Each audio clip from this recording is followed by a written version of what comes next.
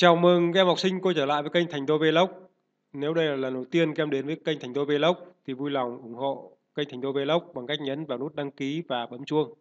Các em nhớ là có bấm chuông thì mỗi khi kênh Thành Đô Vlog đăng tải video lên, các em sẽ là những người đầu tiên nhận được những video mới nhất từ kênh Thành Đô Vlog. Rồi bây giờ mời các em mở sách vào bài tập khoa học lớp 5, trang 24, bài 13, phòng bệnh, sốt, xuất huyết.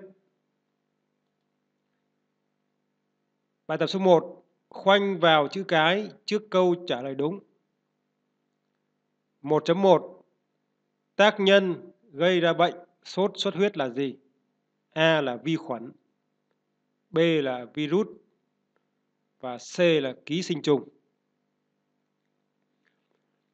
Thì chúng ta biết là bệnh sốt xuất huyết do một loại virus gây ra.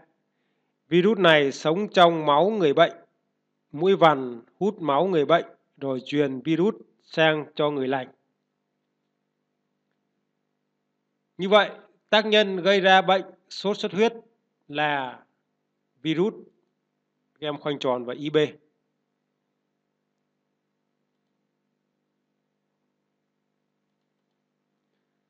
một chấm hai Mũi truyền bệnh sốt xuất huyết có tên là gì? A là mũi Anophen, B là mũi vằn. Thì ở bài 12 chúng ta học về phòng bệnh sốt rét. Mũi truyền bệnh, con vật trung gian truyền bệnh, đó là mũi alofen. Còn trong bài hôm nay, mũi truyền bệnh sốt xuất huyết đó chính là mũi vằn. Bệnh sốt xuất huyết do một loại virus gây ra Virus này sống trong máu người bệnh. Mũi vằn hút máu người bệnh rồi truyền virus sang cho người lành.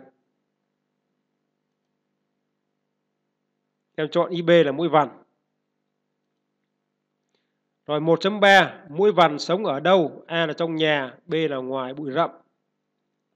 Thì mũi vằn sống trong nhà, đốt người cả ban ngày và ban đêm. Bọ gậy, mũi vằn thường sống ở các chum, vại, bể nước. Tức là con muỗi này nó sống ở trong nhà, con muỗi vằn nó sống ở trong nhà, nhưng khi đẻ thì nó ra những chỗ có nước, nó đẻ như là chum, vại hay là bể nước. Thì trứng nó sẽ nở ra ra bọ gậy và sống ở sống ở chum vại hay là bể nước. Như vậy là mũi vằn thì sống ở trong nhà này,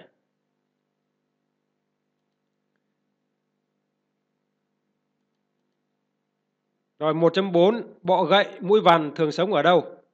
A là ao tù nước động, B là các chum vại bể nước. Thì con mũi vằn này nó sống ở trong nhà, nhưng khi nó đẻ thì nó ra chum vại bể nước nó đẻ. Và trứng mũi nở ra bọ gậy. Như vậy bọ gậy mũi vằn thường sống ở các chum vại bể nước. 1.5 Tại sao bệnh nhân sốt xuất huyết phải nằm màn cả ban ngày. A là để tránh bị gió, B là để tránh bị mũi vằn đốt. Thì chúng ta biết là con mũi vằn này là con vật trung gian nó truyền virus của bệnh sốt xuất huyết. Nó đốt người có bệnh và nó truyền sang cho người lành. Chính vì vậy mà bệnh nhân sốt xuất huyết phải nằm màn cả ban ngày. Bởi vì để tránh bị con mũi vằn nó đốt, nó lại truyền sang cho người người lành. Như vậy các em chọn IB để tránh bị mũi vằn đốt.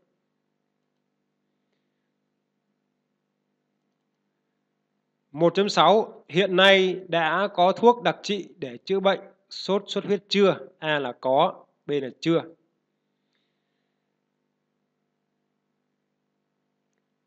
Thì chúng ta biết là Hiện nay chưa có thuốc đặc trị để chữa bệnh này.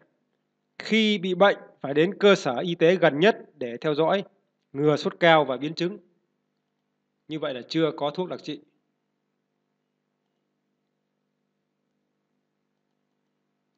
Hai, quan sát các hình trang 29 sách giáo khoa và hoàn thành bảng sau. Đầu tiên là hình 2. Nội dung của hình 2 là gì? Các em quan sát này, bể nước thì có nắp đậy này. Bạn nữ này đang quét sân này, bạn nam này đang khơi thông cống rãnh này. Khơi thông cống rãnh để tránh nước động này. Làm chỗ cho mũi vằn nó đẻ trứng này. Bể nước thì có nắp đậy này.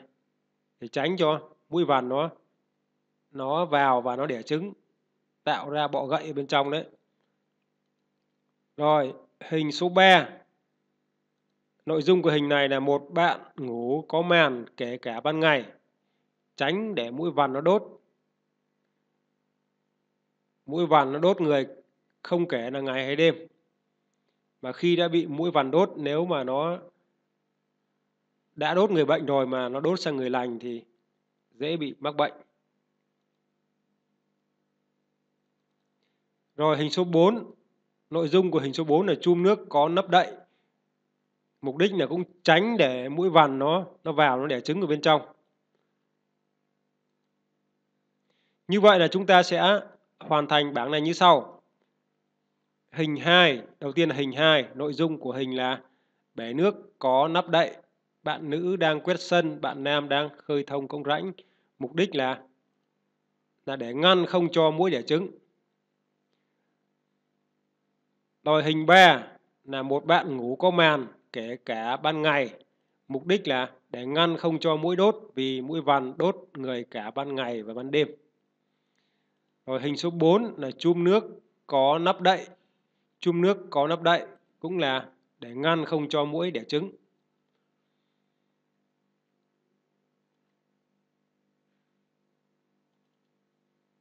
Tiếp theo là bài tập số 3, khoanh vào chữ cái trước câu trả lời đúng nhất. 3.1 là mũi vằn thường đốt người vào khi nào?